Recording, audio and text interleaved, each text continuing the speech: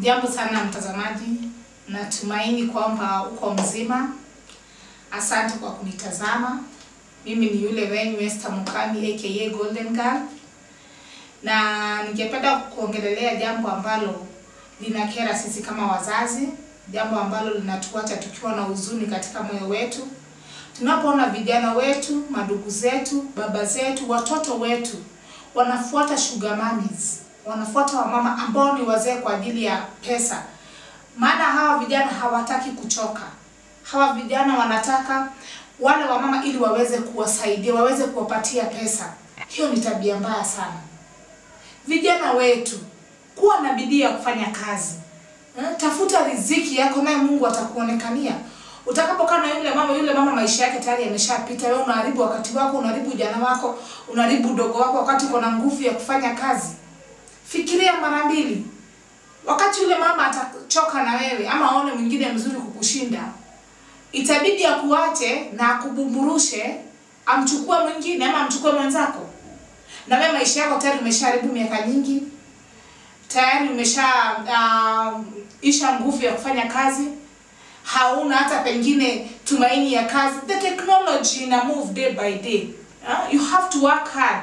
Try, do not usichague kazi ndugu yangu.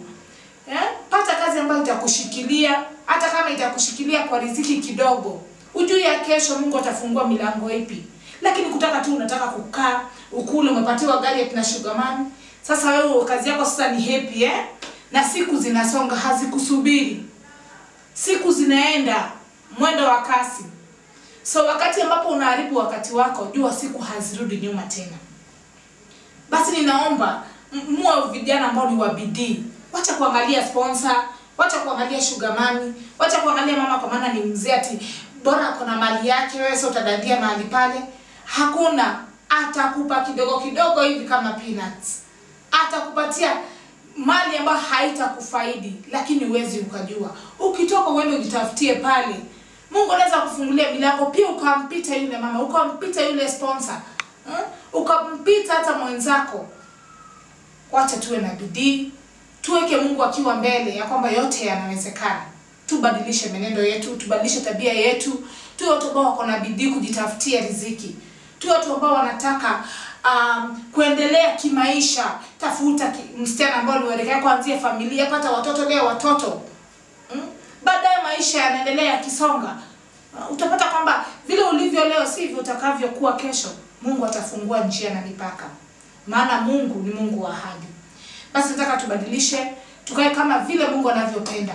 Mungu anapenda familia iendelee. Mungu anapenda tupate watoto. Mungu anapenda yani tuwe watu wa bidii. Anasema kwamba katika maandiko ya kwamba mtu asiyependa kufanya kazi na asili basi hata ufai kula hata kidogo, kama utaki kuchoka. Kama hata kumdadia sugar mami, pia hafai kukupa chakula, anafaa kunyime, maana wewe utaki kuchoka.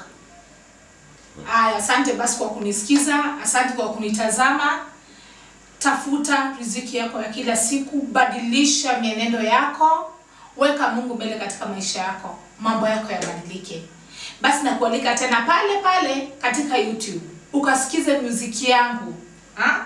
Kuna music ambayo inasema shetani ni jambazi, kuna music ambayo inasema alpha and omega, kuna music ambayo nimeuimba katika msimu huu wa corona ambayo inazungumza kuhusu corona. Hii mziki, mtazamaji na msikilizaji wangu, ukisikiza utabambika. Barikiwa sana.